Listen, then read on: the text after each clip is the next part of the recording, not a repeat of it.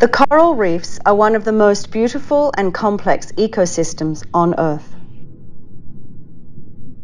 They are home to over 4,000 species of fish and 6,000 species of coral.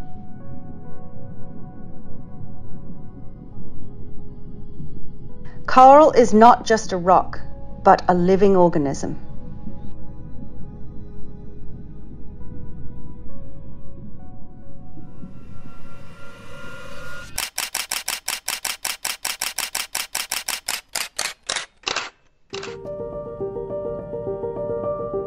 Because of global warming, over 30 to 40% of all coral reefs are now bleached. Scientists say that 70 to 90% of all coral reefs will be bleached in only 20 years. Australia's Great Barrier Reef has experienced another mass bleaching event.